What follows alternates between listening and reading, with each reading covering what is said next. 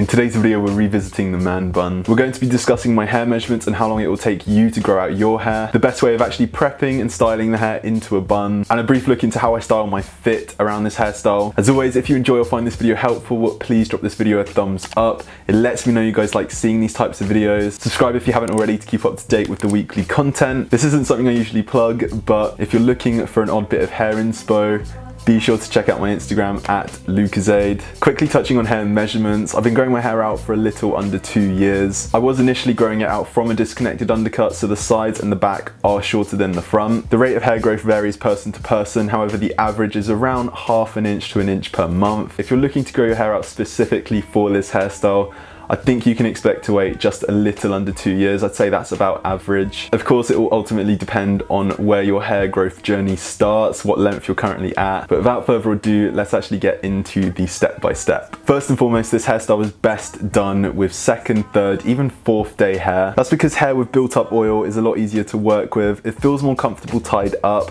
and it's probably one of the only hairstyles where it's appropriate to have slightly oilier hair. And so I do highly suggest that you try this style with second, third day hair but for the sake of this video and making this hairstyle replicable, we're gonna start with clean, washed hair. When washing your hair with this style in mind, I'd suggest using slightly more conditioner than you normally would. Basically, the closest we can get to second, third day hair, the better. You then want to towel dry well. If you've seen my most recent hair video, you'll know it's advised to switch the towel for a t-shirt to avoid breakage. You can skip this step once you've towel dried, but I do highly advise you apply at least a hair oil. This again will make the hair easier to manage, prevent frizz, as well as nourish the hair hence why I highly advise you don't miss this step. I like to follow this up with some sort of hair cream, literally for all of the same reasons I just mentioned, but mostly because it tames frizzy hair, which is usually apparent the day you wash your hair. With our hair cream applied, we're going to blow dry the length of our hair while simultaneously combing. It's super important you comb your hair while drying to prevent any frizziness and ultimately straighten the hair so that we can tie it up without any hassle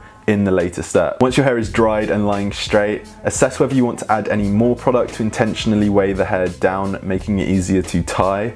If not, just proceed to the tying process. Start with a hairband on your dominant wrist. For me, I'm right-handed, so the hairband sits on my right wrist. I like to bring all of my hair in the same direction, in this case forward. I then cup the hair at the back first, working my way upward until I'm able to hold all of the hair in my dominant hand. It is worth mentioning you don't really need to worry too much about what hand you're using. It's just whatever feels comfortable for you. This is just what feels comfortable for me. I then roll the hairband off my wrist onto the hair and use my other hand to loop the hairband around the hair once if I'm going for a looser fit or twice if I want a tighter fit. Typically I tie my hair up quite loosely because that's just what I find comfortable, but a tighter fit can and does look really clean. So yeah, it's just kind of situational and what works with you. And lastly, where you position the bun ultimately depends on how long your hair is. When I made a man bun tutorial several months ago, my hair was just about long enough to tie, meaning I was forced to position the bun very low. Now that my hair is longer, I'm quite flexible with where I position it,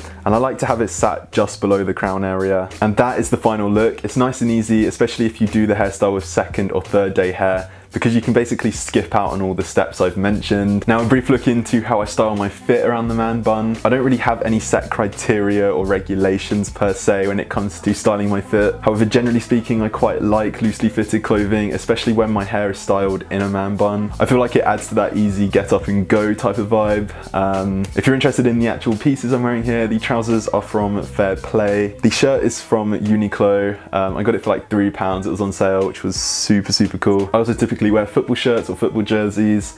Um, anything that kind of gives a boxy but loose fit is kind of my go-to. So yeah, but that brings this video to an end. Thank you guys very much for watching. If you did enjoy please drop a thumbs up. Subscribe if you haven't already. As always, all the products, tools and accessories that I've mentioned throughout today's video will be linked in the description. But until then, I will see you all in the next one. Take care guys. Bye bye.